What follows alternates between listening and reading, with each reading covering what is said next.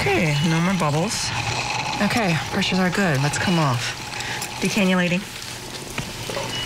I told Torres she'd let you scrub in if she was cutting. Cool. Book an on-call room. What, what happened to drinks first? That's kind of a waste of time, right? Cut to the chase. Hey, Reed. Do you know Izzie Stevens? Grey. Yes. I met her before she got fired. You know she's Alex's wife, and she's not here right now, but they're still married. Meredith, shut up. no, some people think you're divorced, and you're not. Um, you know, how about you just shut up long enough to watch your friend tank her valve? How? What? She's tachycardic. Suction. Take this. Laps. I need more laps. Someone get me a sponge stick, please.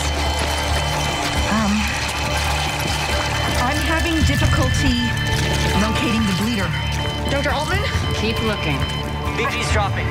Wh- How come Altman's not doing anything? Suction. More suction. Systolic's down to 80. I could suture directly or clamp. I don't know which one to do. I don't know either. Well, my guess is, is if you came and looked at it, you would have a better idea. I'm sure that's true, but I'm not the one operating. This is a lot of blood. She's crashing. You're overthinking it. Dr. Yang. Look at the aorta. What does it tell you? That I have two options and I don't know which one to do. This is crazy. Why isn't she helping her? How's it going? Yang's killing her patient, and Altman's reading the Atlantic Monthly.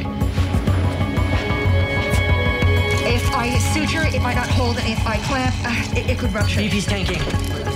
What the hell are you doing? I'm teaching, and she's learning. She needs help. She may be too proud to say it, but how about we don't let this patient die and give her a hand anyhow? She asked. She's not that proud, and I said no. This patient is not going to die.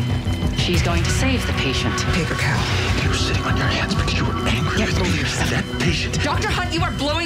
Concentration. Now get out of my OR. Pig cow, pig cow, pig cow, pig cow. Pig, clamp.